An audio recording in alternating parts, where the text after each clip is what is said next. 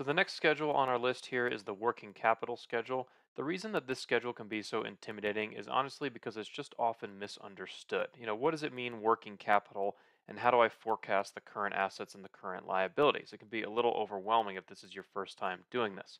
The good news is you actually already have all the information you need to build out your forecast. You're just pulling information from the income statement and pulling information from the balance sheet. What we're going to be doing is building out a couple metrics called the working capital statistics down here, and we'll be using these to build our forecast.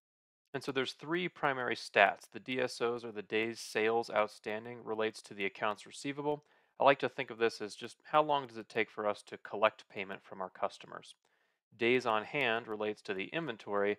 The way I think about this one is if we didn't buy any other inventory, how many, how many days will we have until we just ran out? And then the last one is the days pay, payables outstanding relates to the accounts payable. This is how long on average does it take us to pay our bills to some other company. So our DPOs is somebody else's DSOs. So they're interconnected in that sort of way. So to forecast them, well, first we have to just calculate what they are historically. I'm going to open up the formula here, and you can see I've got the note here. It's just the accounts receivable divided by the sales. You can see here's the AR divided by the sales multiplied by 365.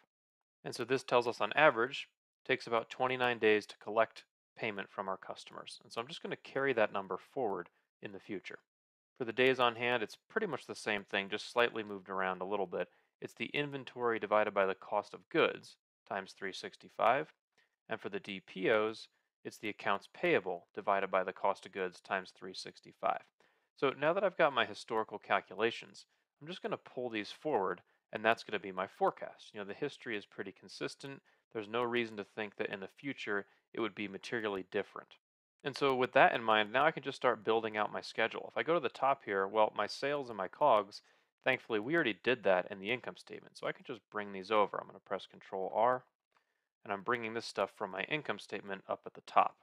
And now to forecast my accounts receivable, all I have to do is reverse engineer the DSO calculation a little bit to back into a number. And so how to do that is to take the DSO number from below, so equals, right, our new number here, divided by 365, and then multiply it by sales that came from my income statement. Okay, and now I've got a forecast for my accounts receivable. For the inventory, exact same concept. I'm just going to take the days on hand number, which is here, divide that by 365, and multiply that by my cost of goods, not the sales. So do that there. Now suddenly I have an inventory forecast. Accounts payable, which is down here, exact same thing.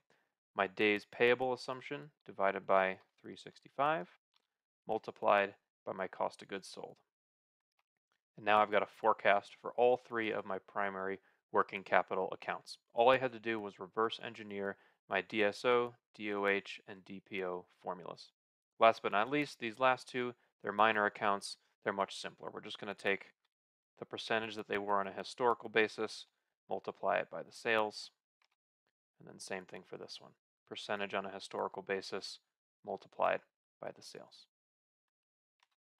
And now we're all set. By just looking at information we already had, we were able to calculate the working capital statistics, carry them forward, and then reverse engineer some of our formulas to get actual dollar values for these accounts. And now we can link up each of them to our balance sheet when we're ready to get to that step.